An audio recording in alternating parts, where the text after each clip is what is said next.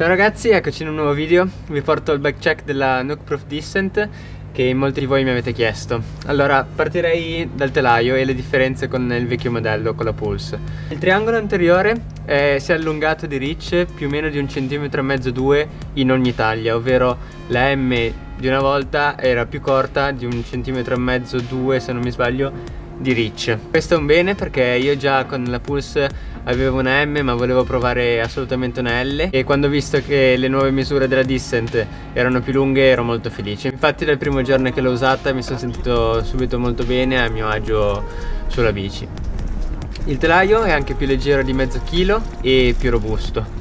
Ho spostato le sospensioni che avevo sulla vecchia Pulse anche su questa, quindi uso una forcella Hollins DH38 all'anteriore e un ammorzatore TTX 22M al posteriore. La pressione che uso nella forcella è di circa 120 psi nella positiva e 250-260 nella camera di rampa. Questo ovviamente dipende dal tipo di pista e dalle condizioni del terreno. Come regolazioni tengo le alte velocità nella posizione 1 o massimo 2, comunque tendenzialmente aperto, e le basse a 10, ovviamente anche questo dipende dal tipo di pista e dalla condizione del terreno, se scivola oppure no, se è compatto oppure no. Il ritorno lo tengo abbastanza aperto, circa 13, la regolazione è qua sotto come sapete e sono curate da Fabrizio di Atomic Bike Engineering. E ringrazio ovviamente i ragazzi di Andreani che ci permettono di usare queste fantastiche sospensioni. Al posteriore la serie non cambia, uso una molla da 388 anche su questa Dissent e le regolazioni sono le basse in posizione 1, le alte circa a 10 e il ritorno a 4 a 5 dipende dalla pista. Anche su questa Tissent il sistema è simile e con qualche miglioramento secondo me Infatti la sospensione è più mm, progressiva verso la fine e questo mi permette di non fare dei grossi fondocorsa come invece facevo con il vecchio modello. Come ruote uso delle formule alla linea G, al momento al posteriore in realtà c'è un DT Swiss perché la mia formula l'ho imprestata. E come molti di voi sapranno utilizzo il 29 all'anteriore e il 27,5 al posteriore ho fatto diversi test a inizio stagione e mi ci trovo veramente bene. L'UCI quest'anno ha dato il permesso di utilizzare ruote diverse davanti e dietro, diametri diversi e devo dire che mi ci trovo veramente bene.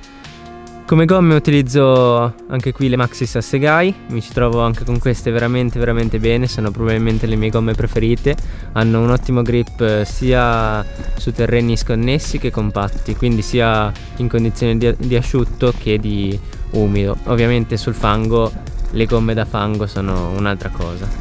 Per il resto della componentistica uso monopole Odi, tabella porta numero core stickers, parafango FT Pro personalizzato, freni formula Cura, 4 pistoni, mi ci trovo molto bene, pedali Crank Brothers Mallet DH, trasmissione SRAM GX e guida catena e paracorona della Shimano. Per quanto riguarda il manubrio uso un Rental Fat Bar da 78, mm, quindi non tagliato, e mm, di Rise 20 con il suo attacco manubrio sempre della Rental da 50. Per finire vi do qualche altro dato più personale. Allora, come pressione utilizzo circa 1,6 bar davanti e 1,7 1,8 al posteriore.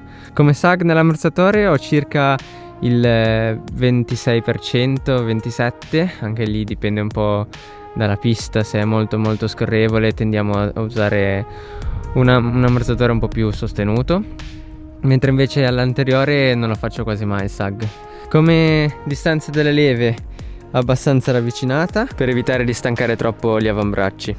E niente, penso di avervi detto tutto, la taglia è una M come vi ho detto, penso che per l'anno prossimo proverò sia una L sia una 29 e, e niente, spero che il video vi sia piaciuto, a me la bici piace veramente un sacco, è molto molto semplice e ti permette veramente di andare su qualsiasi pista e trovarti sempre sempre bene. Noi ci vediamo in un prossimo video, iscriviti al canale se non l'hai ancora fatto. Ciao!